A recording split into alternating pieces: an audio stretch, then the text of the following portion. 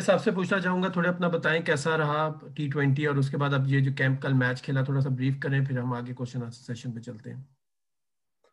आ, बिल्कुल अभी जिस तरह रिसेंटली हमने नेशनल टी ट्वेंटी कप खेला और उसमें काफ़ी अच्छे मैचेस हुए जिस तरह सब लड़के एफर्ट कर रहे थे चाहे वो सीनियर प्लेयर है जूनियर प्लेयर है और नए लड़के हैं वो सब एफर्ट कर रहे थे और काफ़ी इंजॉय कर रहे थे इस क्रिकेट को।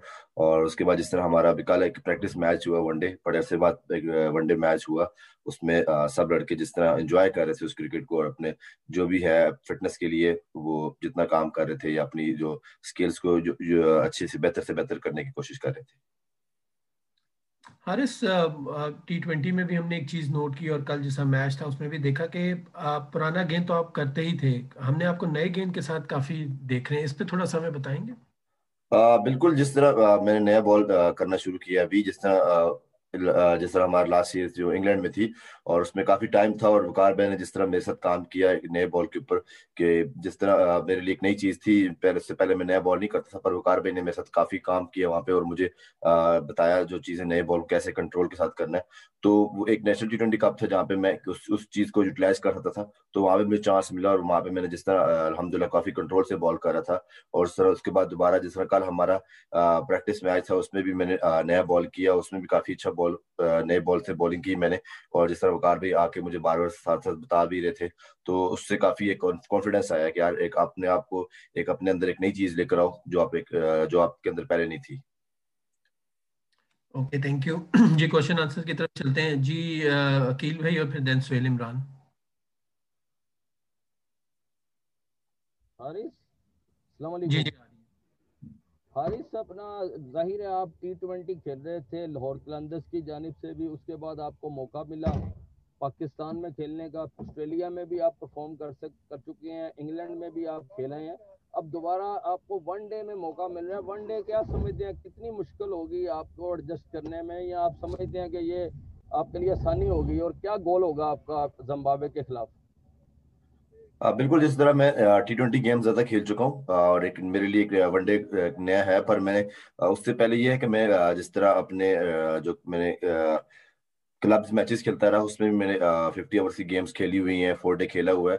तो इसलिए थोड़ा बहुत आइडिया है कि यार वनडे में कैसे बॉलिंग करनी है और क्या उस पर स्ट्रेंथ होनी चाहिए आपकी।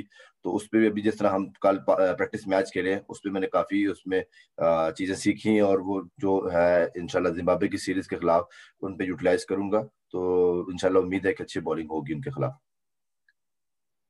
जी सोहेल भाई।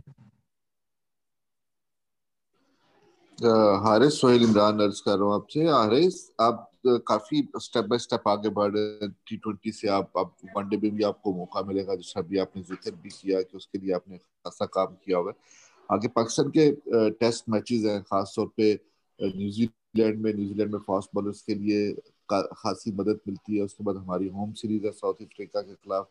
आगे आने वाले दो तीन महीनों में चार टेस्ट मैचेस हैं। तो आपने इंग्लैंड में रहते हुए और या जो ये वक्त गुजर रहा है तो कितने होपफुल हो कि आप इसी सीज़न में 2020-21 में आप टेस्ट डेब्यू भी करने में कामयाब हो जाओगे। बिल्कुल जिस तरह स्टार्ट मेरे टी ट्वेंटी से हुआ था और अब अलहमदिल्ला जिस तरह वनडे के लिए नाम भी आया है अलहमदिल्ला तो इसके बाद यही है कि अपने आप को जितना भी है, अपनी जो स्किल्स हैं, उसको शो करूँ और जितना अपनी एफर्ट्स हैं, वो दूँ। और जिस तरह अगर मौका मिलता है अगर तीनों फॉर्मेट में पाकिस्तान को खेलने के लिए तो इनशाला ज़रूर खेलूँगा। और जारी बात है आप, आपके साथ इतने अच्छे सीनियर बॉलर हैं और वो आपके साथ आपको साथ आपको चीज़ें समझा रहे होते हैं तो उससे काफ़ी कुछ सीखने को मिलता है जिस तरह वकार भाई ने काफ़ी वर्क किया हुआ मेरे साथ। तो इनशाला उम्मीद है कि टेस्ट में भी अपनी जल्दी से जल्दी जगह बनाऊँ और उसके लिए भी पाकिस्तान को सर्व करूँ।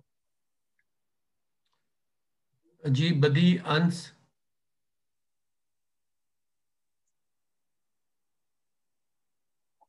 बदी माइक म्यूट है आपका। अब सही है? जी जी। आवाज़ आ रही है? जी, बिल्कुल। अच्छा आर एस टी ट्वेंटी से आपने आगाज़ किया एकदम लाहौर कलंदर से आप खेले, उसके बाद आपने लीग खेली।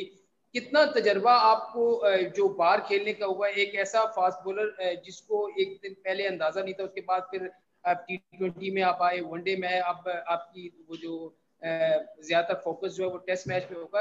एक बॉलर को सबसे ज़्यादा जो वो टेस्ट के लिए होता है कि मैं यार टेस्ट का अच्छा वसीम अकरम वकार जैसे आपने बताया तो बड़े जो बॉलर हैं लेजेंड जैसे वसीम अकरम हो गए इनसे कोई आप टिप्स लेते हैं कि टेस्ट मैचेस की बड़ी फॉर्मेट में किस तरह से बॉलिंग करनी चाहिए ताकि आपको कामयाबियाँ मिले?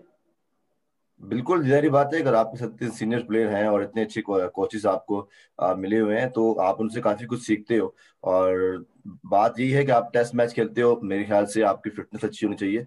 और एक टेस्ट मैच में आपको एक पेशेंट के साथ बॉलिंग करनी पड़ती है और आप एक ही एरियाज़ पे हिट कर रहे थे बॉल को तो देन आपको विकेट्स भी मिलती हैं और उसके साथ आपको बहुत ज़्यादा ये है कि आपको टेस्ट मैच में पेशेंट चाहिए होता है। तो काफ़ी कुछ सीखा हुआ है और इनशाला अगर मौका मिलता है टेस्ट के लिए तो इनशाला ज़रूर खेलेंगे पाकिस्तान के लिए। जी अंश? हारिस अभी जो स्क्वाड है उसमें बॉलिंग साइड पे कोई इतना एक्सपीरियंस नहीं है। अगर वहाब की बात करें तो वो एक्सपीरियंस बॉलर हैं। तो कितना मिस कर रहे हैं आप यहाँ एक्सपीरियंस साइड को? क्योंकि जो एक्सपीरियंस होता है वो सीनियर्स होते हैं वो आपको थोड़ा गाइड भी करते हैं तो कितना मिस कर रहे हो आप इस साइड में? आ, बिल्कुल आप जिस तरह वहाब भाई मेरे साथ हैं तो उन्होंने काफ़ी कुछ मुझे चीज़ें वहाब भाई के होते हुए काफ़ी कुछ चीज़ें सीखी है मैंने। और उसके बाद जिस तरह वकार भाई हैं तो मेरे ख्याल से अगर वकार भाई आपके साथ हो और जिस तरह एक मेरी जो स्पेशलिस्टी थी, जिस तरह डेथ बॉलिंग करना और जिस तरह वकार भी डेथ बॉलिंग करते थे या जिस तरह उनके रिवर्स यॉर्कर जो होते थे तो वो काफ़ी कुछ मुझे चीज़ें सिखा रहे हैं। जिस तरह वो कंट्रोल के साथ बॉलिंग करते थे, वो थोड़ा बहुत कंट्रोल उनसे सीख रहा हूँ। जिस तरह वो क्रीज को यूज़ करके बॉलिंग करते थे, वो मुझे, वो भी मतलब वो भी काम कर रहे हैं कि क्रीज को कैसे यूज़ करना है। तो इनशाला जिस तरह जिस तरह आप क्रिकेट खेलते जाते हो तो आप मजीद बेहतरी से बेहतर होते होते जाते हो। जी, जीशान, हाफिज शहबाज इमरान। हारिस मेरा क्वेश्चन है आपसे कि पाकिस्तान के पास फास्ट बॉलर्स का एक बहुत अच्छा पोल है तो ये बताएँ कि कितना चैलेंजिंग लगता है आपको कि आप ऐसी परफॉर्मेंस दें कि आप फाइनल इलेवन के लिए ऑटोमेटिक चॉइस हों? देखिए, जिस तरह पाकिस्तान के अंदर अभी जिस तरह फास्ट बॉलर्स आए हुए हैं, जिस तरह यंग शहीन, जिस तरह बॉलिंग कर रहा है, नो डाउट आप सबको पता है और माशाल्लाह से परफॉर्म भी कर रहा है। उसके साथ जिस तरह हुसनैन है, नसीम है, मूसा है तो एक अच्छा एक पाकिस्तान के लिए एक साइन है कि यार आपके पास एकदम इतने अच्छे बॉलर्स और पेस के साथ बॉलर आए हैं तो आपका जारी बात है कंपटीशन भी बढ़ जाता है। तो आप आ, मेरे ख्याल से कि आप जारी बात है कंपटीशन जिस तरह शाइन जिस तरह भी टी ट्वेंटी में बॉलिंग कर रहा था तो उसके साथ मेरी बात होती थी तो मैं उसको यही बोलता था कि यार हमारा आपस में मुकाबले देखते हैं कौन टॉप पे जाता है। तो एक ये एक अच्छी अच्छा साइन होता है कि आप अपने जो आपसे बेहतर बॉलिंग कर रहे हो, आप उसके साथ मुकाबला लगाएँ और यार आप जिस तरह वो बॉलिंग कर रहे हैं, आप उसको कैसे बीट कर सकते हैं? तो एक अच्छा साइन है और काफ़ी कुछ इससे आप लर्न करते हो कि यार एक वो अच्छा कर रहा है तो आप भी अच्छा करो। तो उससे जारी बात है जब आपकी परफॉर्मेंस आती है तो आप फाइनल इलेवन के लिए ज़रूर आप रिकमेंड होते हो। हारिस। हारिस अगर हम आपको देखें जिस तरह आप बॉलिंग कर रहे हैं जितनी भी आप क्रिकेट खेले हैं चाहे वो टी ट्वेंटी लीग क्रिकेट है या इंटरनेशनल क्रिकेट है अब देखते हैं कि अचानक से आप एक या दो ऐसे बॉल कर देते हैं जो कि उस टाइम पे नहीं करने चाहिए। जैसे आप अगर इंग्लैंड वाला टी ट्वेंटी मैच देखें गालबन जो जब सेकंड लास्ट बॉल पे हिट हो गया इस तरह तो क्या वजह लगता है कि अभी कंसिस्टेंसी उतना नहीं है खासतौर पर फिटनेस का कमी है क्या वजह क्या लगता है आपको? आ, नहीं समटाइम आपको हो जाता है कि आपका बॉल बुरा हो जाता है, वहाँ पे आपकी जो सिचुएशन होती है, उसके मुताबिक वो बॉल नहीं होता। बिल्कुल वहाँ पे मेरी सी गलती हुई थी, जिस तरह मैंने एक बैट बॉल किया था और उसमें मुझे रन लगा था। बट अगले नेक्स्ट नेक्स्ट बॉल मैंने अपने hundred and ten percent effort के साथ बॉल किया और अलहमदिल्ला उसमें आप मैच जीते थे। तो ये चीज़ें होती है, जब अपनी गलतियों से आप इंसान सीखता है, जब इंसान गलती करता है तो नेक्स्ट टाइम इनशाला कोशिश करते हैं कि यार कि यार वो गलती की थी, यहाँ पे वो, जो सिचुएशन थी, वो बॉल नहीं बनता। तो वो एक दोबारा जब सिचुएशन आती है तो आप मेरे ख्याल से गलती नहीं करते। तो एक गलतियों से काफ़ी कुछ सीख रहा हूँ। जिस तरह आप सीखते जाते हो तो आप मजीद बेहतर से बेहतर होते जाते हो। इमरान। वालेकुम हारिस वालेकुम अस्सलाम। हारिस कौमी टीम की तो बहुत बात हो गई। पीएसएल पे थोड़ी बात कर लेते हैं। मैचेस जो हैं वो अब लाहौर से कराची आ गए तो कैसा आपकी टीम का मोराल है और आपके जो गैर मुल्की प्लेयर हैं क्या वो सब आ रहे हैं? और हम देख सकेंगे कराची के होम ग्राउंड पर लाहौर कलंदर्स की टीम जो है वो इस मरतबा ट्रॉफी उठाएगी। बिल्कुल जिस तरह पी एस एल फाइव जिस लाहौर के अंदर खेली है और जिस तरह उन्होंने अभी जिस तरह उनका मोमेंटम बना हुआ है उस तरह इंशाल्लाह मोमेंटम बना रहेगा। जिस तरह पीएसएल में मैं भी इंजर्ड था, जिस तरह हमारा दिलबर हुसैन था, वो भी इंजर्ड था और शाहीन भी मुकम्मल तौर पर फिट नहीं था। तो अलहमदिल्ला अभी जिस तरह मेरी जिस तरह बॉलिंग हो रही है, जिस तरह शाहीन की बॉलिंग हो रही है, दोनों की फॉर्म अच्छी लगी हुई है। तो इनशाला कोशिश करेंगे कि यार अपनी टीम के लिए जितनी एफर्ट कर सकें और इस दफ़ा हम जिस तरह चैंपियन बन सकते हैं तो इनशाला ज़रूर बनेंगे। और बाकी बात क्रिकेट की है तो इनशाला क्रिकेट पीसीबी का एक बहुत बड़ा इसमें अहम रोल है कि यार क्रिकेट इस इतने टफ सिचुएशन में क्रिकेट हो रही है तो ये एक बड़ी बड़ी चीज़ है हमारे लिए कि एज अ प्रोफेशन कि हमें क्रिकेट मिल, मिल रही है और कराची ट्रॉफी और इंशाल्लाह ज़रूर जीतेंगे। जी एनी अदर क्वेश्चन कोई और अगर करना चाहे प्लीज़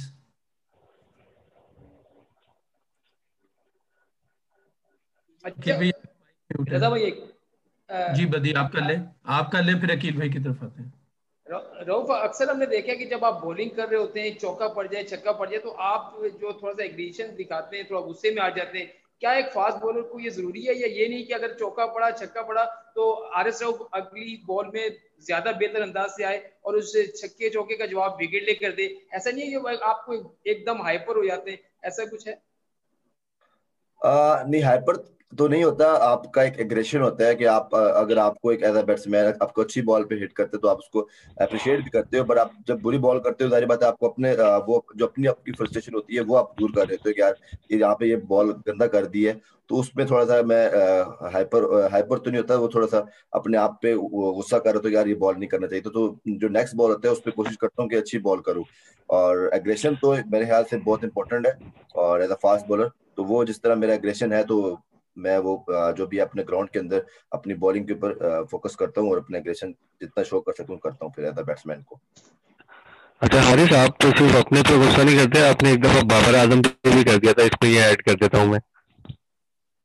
आ, नहीं वो तो एक जिस तरह वो मेरे अपने आप पे गुस्सा कर रहा था यार मैंने जिस तरह वो सिचुएशन नहीं थी जहाँ पे मैं बॉल मैंने वो स्लो वन किया और मैंने हिट खाई और वो मैं अपने आप पे गुस्सा कर रहा था as a during the field आप अपने आप को आ, जिस तरह एग्रेशन के साथ बॉल कर रहे थे तो वो शो कर रहा था बस अपने आप को अपने आप पे जो कुछ करना था वो मैं खुद को कर रहा था। जी अखिल भाई। ओके हो गया बॉस बहुत शुक्रिया। जी आ, उमर सुहेल साहब अंस कोई आपका जिशान आपका मैसेज आया नहीं वो इमरान ने मेरा क्वेश्चन कर दिया thank you okay ji Umar Suhail साहब अंस कोई आपका हाफिज? नहीं नहीं रजा भाई थैंक यू कवर हो गया। हो गया रजा। हो गया सब कुछ हो गया। Thank you sir thank you चलिए थैंक यू वेरी मच जी आप सबका ज्वाइन करने का कल हमारा प्रैक्टिस मैच है और परसों हमारा ट्रैवल होगा इस्लामाबाद के लिए तो इंशाल्लाह